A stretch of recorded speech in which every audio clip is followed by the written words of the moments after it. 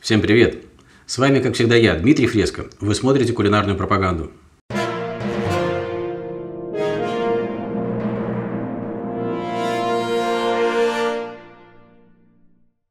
Когда-то давно, когда я был студентом и жил в общаге, один сокурсник на одном из праздников угостил совершенно потрясающим блюдом. На первый взгляд это была вроде бы обычная тушеная картошка с мясом.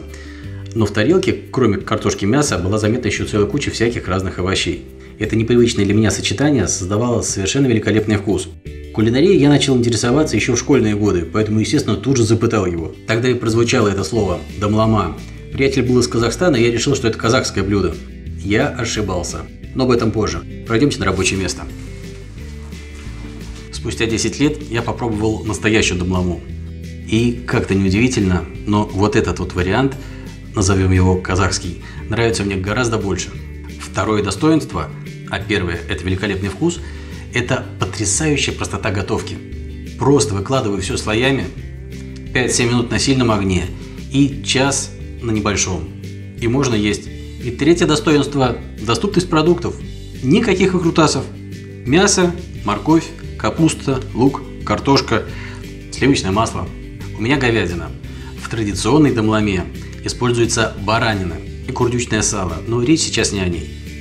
Все очень просто. Дно кастрюли и стенки на высоту может быть 1 см, не больше. Надо выложить пластинками сливочного масла. Толщина 2-3 мм, не больше. Да, в этом казахском, назовем его рецепте, масло, по совету моего приятеля, выкладывалось толщиной в добрых 5 мм и высоту на 4-5 см по стенкам казана или кастрюлин. Здесь у меня меньше его, да. А, что хочу сказать, я буквально слышу, как многие из вас сейчас возмущаются. Такое жирное блюдо, куда его, это не спортивно. Друзья мои, вот здесь у меня сейчас почти 4 килограмма продуктов. Мясо чуть меньше килограмма. А масло всего уйдет приблизительно 100 граммов. То есть 25 граммов на килограмм еды.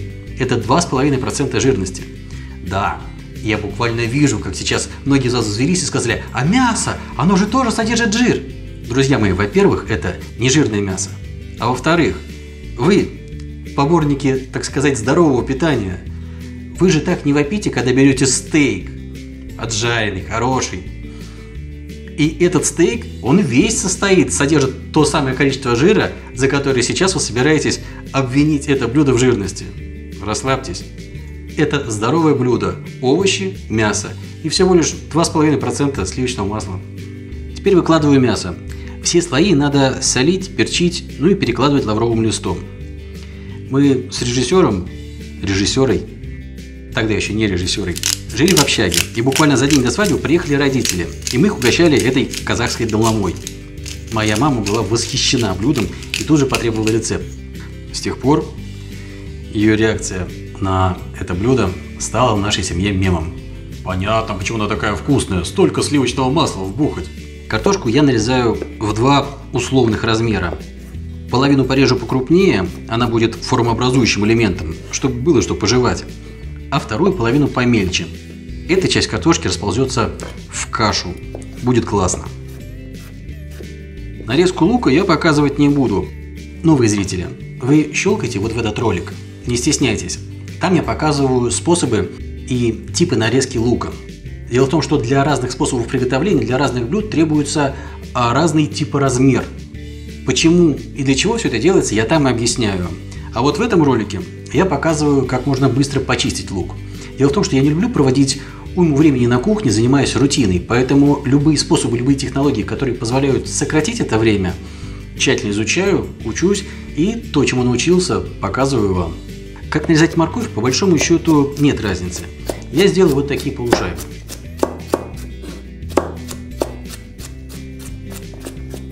Вот с капустой все не так просто. Прежде чем разрезать ее в хлам, нужно отделить несколько крупных листиков. Когда мы это блюдо соберем, этими крупными листами закроем сверху, как крышкой, все овощи. Тогда сок, выделяющийся из овощей, попадая на горячие стенки кастрюли, будет испаряться, и вот эта крышка будет удерживать пар внутри этого блюда. Все будет париться, насыщаться ароматами, вкусами.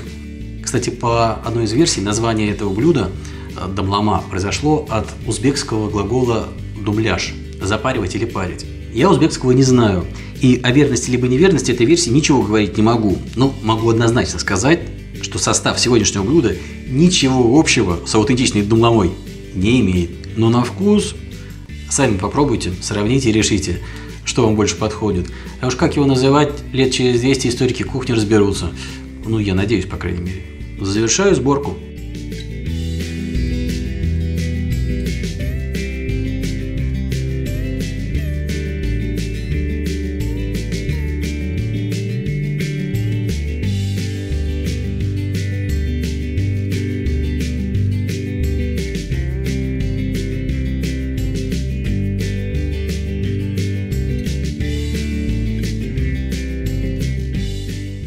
Забывайте, каждый слой нужно посолить, поперчить, положить лавровый лист.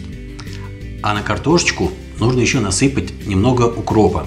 У меня только сухой. Если у вас есть свежий, еще лучше будет. И очень важен порядок слоев. Теперь 5-7 минут на сильный огонь. Готовить это надо в кастрюле с толстым дном или вообще в чугунном казане. Почему порядок слоев так важен? Сейчас за эти 5-7 минут сливочное масло быстро растает. Мясо, которое лежит вторым слоем, нижняя его сторона начнет к дну кастрюли прижариваться, образуя вот эту классную, замечательную румяную поджаристую корочку, которая даст совершенно потрясающий аромат во всем этом блюде. Картошка, которая лежит следом, должна наполовину развариться. Чтобы она быстрее разваривалась, я половину из нее как раз мелко порезал. Но чтобы вот это происходило, она должна готовиться в соке, в жидкости.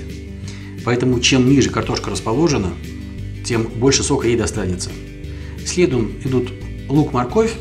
Они создают ароматические э, здесь вкусы. Лука здесь не очень много, но он тоже дает сок. И последний слой, как раз важный, это капуста.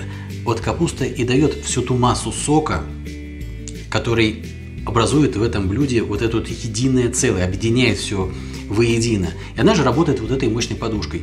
Ну и листы, которые сверху все дело перекрывают, капустные, тоже, естественно, работают на это же дело.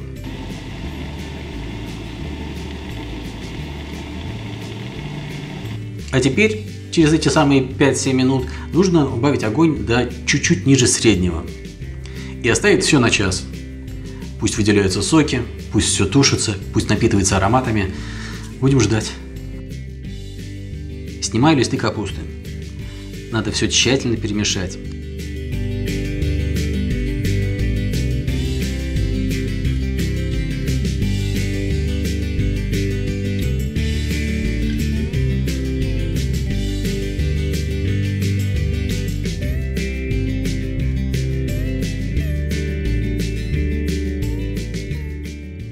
Простая мужицкая еда, но какая же она вкусная.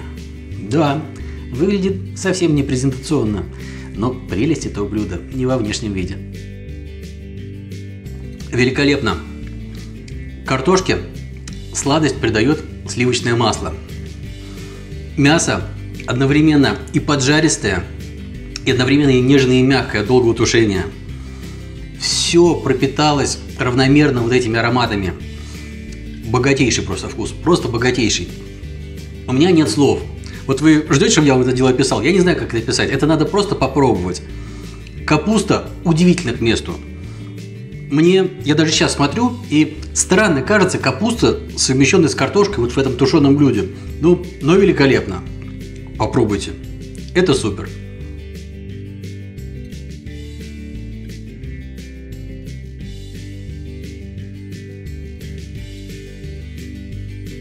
Вот и все на сегодня. Понравилось? Не поленитесь поставить палец вверх. Я тут, понимаешь ли, не щадя живота своего, такую жирноту-вкусноту пробую. Новые зрители. И, кстати, не новые тоже. Регулярно появляются вопросы «покажи демиглаз» и тому подобное.